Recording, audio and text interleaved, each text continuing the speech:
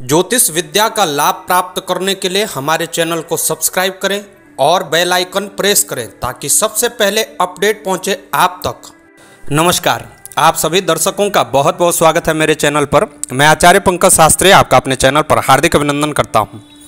उपस्थित हुआ हूँ दैत्यगुरु शुक्रदेव का राशि प्रवर्तन का शुभाशुभ फल को लेकर के।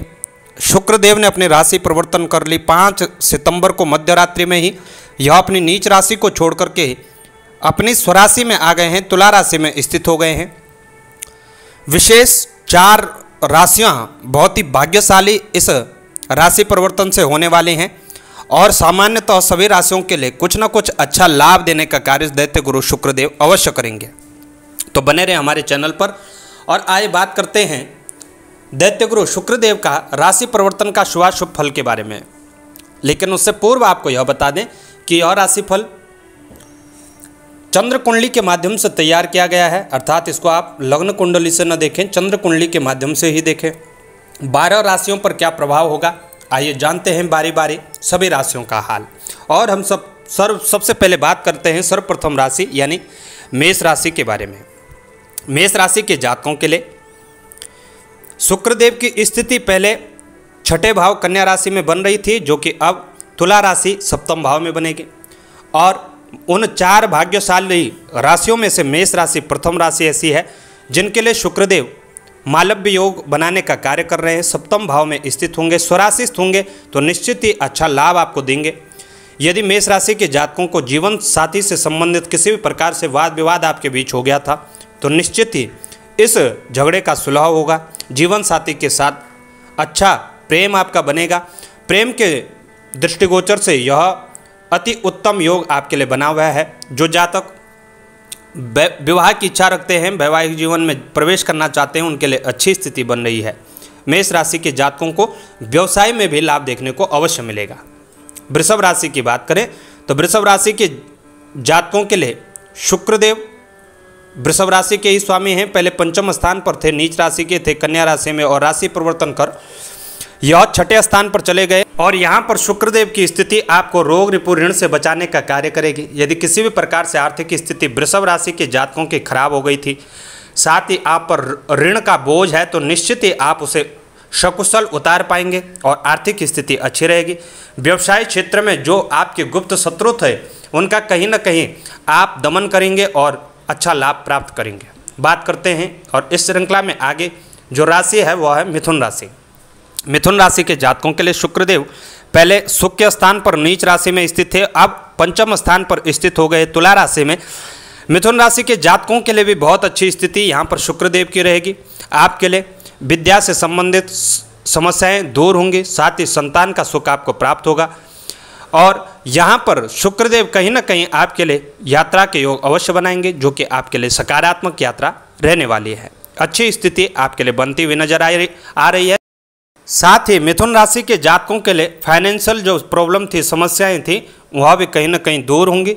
यदि आप शेयर मार्केटिंग के कार्य से जुड़े हैं मार्केटिंग का कार्य से जुड़े हैं ऑनलाइन वर्किंग से जुड़े हैं तो निश्चित ही अच्छा लाभ आप प्राप्त करेंगे। और बात करते हैं अब अगली भाग्यशाली राशि की, और यह राशि है कर्क राशि। कर्क राशि के जातकों के लिए शुक्रदेव की स्थिति पहले पराक्रम स्थान पर बनी हुई थी, नीच राशिस्थ थे, और अब शुक्र भाव में स्थित है। मालव्य योग का निर्माण आपके लिए शुभ भाव में हो रहा है। निश्चित ही यह एक अति उत्तम योग कर्क राशि के जातकों के लिए बना हुआ है। भूमि से संबंधित सुख आप प्राप्त करेंगे, माता का सुख प्राप्त करेंगे। तमाम भौतिक सुख सुविधाओं पर आप अनेक प्रकार के खर्च करेंगे और उन सुखों को प्राप्त करने में सफलता भी प्राप्त करेंगे। यदि आप थोड़ा सा भी प्रयत्न करते हैं किसी भी सुख के लिए तो इस दौरान जब तक शुक्रदेव अपनी स्वराशिस्थ हैं, तब तक कहीं ना कहीं अच्छा लाभ आपको अवश्य देखने को मिलेगा। आपके लिए अति उत्तम योग बना हुआ है। और अगली राशि की बात करेंगे, सिंह राशि की। सिंह राशि के जातकों के लिए पहले शुक्रदेव द्वितीय भाव में स्थित थे तो कई प्रकार की समस्या, कुटुंब से संबंध, संबंधित समस्या आपको देखने को मिली होगी। और अब तुला राशि में पराक्रम स्थान पर शुक्रदेव की स्थिति बनी है। स्त्री के माध्यम से कुछ ना कुछ लाभ आपको अवश्य देखने को मिलेगा। साथ ही व्यवसाय से संबंधित जितनी भी समस्याएँ थी, दूर अवश्य हो होंगी। और आपके लिए भी बड़ा चढ़ा आत्मविश्वास होगा, अच्छी स्थिति में आप लाभ प्राप्त कर पाएँगे। स्वास्थ्य का अपना ध्यान रखना होगा सिंह राशि के जातकों को। बात करेंगे कन्या राशि की तो स्वयं लग्न स्थान पर ही शुक्रदेव स्थित थे मानसिक रूप से आपको बहुत पीड़ा उत्पन्न हुई होगी, लेकिन अब राशि प्रवर्तन कर द्वितीय भाव में चले गए तो निश्चित ही अच्छी सुमधुर वक्ता सुमधुर वाणी आपकी होगी और वक्ता प्रवक्ता का कार्य आप अच्छे तरह निभा सकेंगे। किसी को मोटिवेट करना हो तो बहुत अच्छा प्रभाव आपका वाणी के माध्यम से औरों पर पड़ सकता है। साथ ही, धन के मामले में आप अत्यंत भाग्यशाली रहने वाले हैं। धन की स्थिति आपके लिए बहुत ही अच्छी बनती हुई नज़र आ रही है। अगली राशि की बात करेंगे और अगली राशि है हमारी तुला राशि। तुला राशि का स्वामी भी शुक्रदेव ही हैं। पहले व्यय स्थान पर थे अनेक प्रकार की व्यर्थ की यात्राएँ आपकी हो सकती हैं, लेकिन अब आपके लिए लग्न स्थान पर ही स्थित हो गए हैं निश्चित ही। स्वास्थ्य में आपका बहुत अच्छा प्रभाव, बहुत अच्छा सुधार देखने को आपको मिलेगा। आत्मविश्वास में वृद्धि देखने को मिलेगी और साथ ही आपके लिए भी मालव्य योग का निर्माण लग्न में ही हुआ है। तो व्यवसाय से संबंधित जितनी भी समस्याएँ थी अवश्य दूर होंगी और अच्छा प्रदर्शन आप अपने व्यवसाय में करेंगे। निश्चित ही तुला राशि के जातकों के लिए भी अत्यंत लाभदायक स्थिति बनी हुई है। यदि आप थोड़ा सा प्रयास करें, प्रयत्न करें, किसी भी क्षेत्र में, जिस भी क्षेत्र में आपका व्यवसाय है, नौकरी है, कला के क्षेत्र में है तो निश्चित ही अच्छा लाभ आप प्राप्त करेंगे। साथ ही, स्त्री के माध्यम से आपके लिए भी अच्छी स्थिति बनेगी।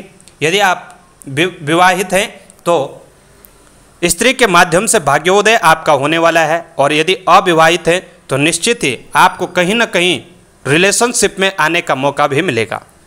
तुला राशि के जातकों के लिए भी अच्छी स्थिति बनेगी। बात करेंगे वृश्चिक राशि के जातकों की तो वृश्चिक राशि के जातकों के लिए पहले लाभ स्थान पर थे, वहाँ पर नीच राशि में थे और अब व्यय स्थान पर हैं। निश्चित ही वृश्चिक राशि के जातकों को पहले से अत्यधिक लाभ अब देखने को मिलेगा। व्यय तो हो सकता है, लेकिन साथ ही आपकी सकारात्मक ऊर्जा और सकारात्मक व्यय देखने को मिलेगा। ऐसा व्यय हो सकता है जो आप लंबे टाइम तक इन्वेस्ट कर सकते हैं या कोई अच्छी चीज़ खरीद सकते हैं जिससे सबका मन प्रसन्न हो सकता है। साथ ही यात्राओं के योग आपके लिए बने हुए हैं तो यात्रा पर भी आप जा सकते हैं। और अगली राशि हमारी धनुराशि।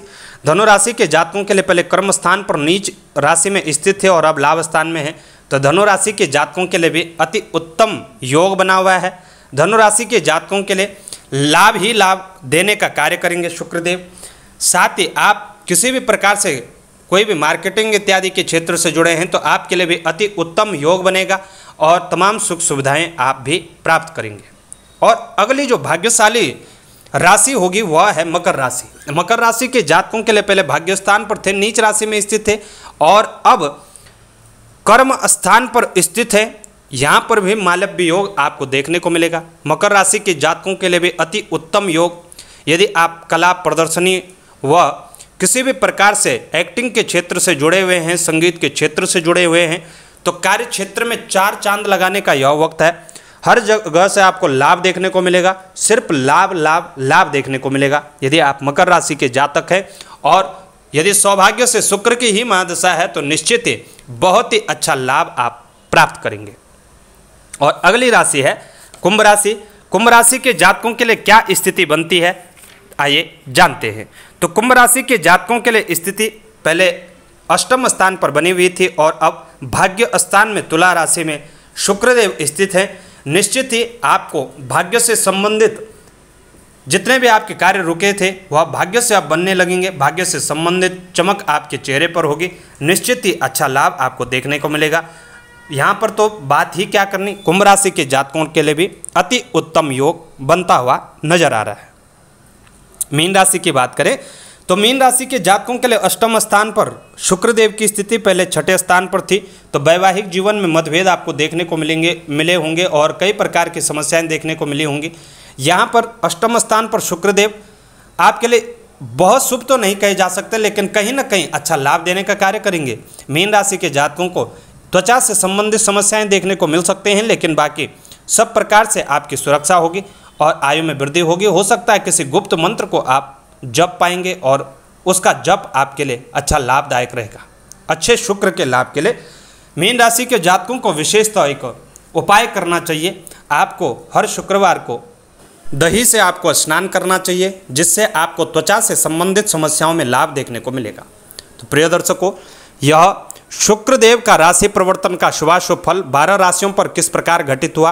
यदि आपकी भी इनमें से चार राशियाँ हैं और वह भाग्यशाली चार राशियाँ आपकी हैं, उनमें से कोई सी भी एक राशि है तो निश्चित ही आपको इस समय ज़ोर लगा देना चाहिए अपने कार्य क्षेत्र में, अपने व्यवसायिक क्षेत्र में, अपने मार्केटिंग के क्षेत्र में। निश्चित ही बहुत ही अच्छी उन्नति आप प्राप्त कर सकते हैं।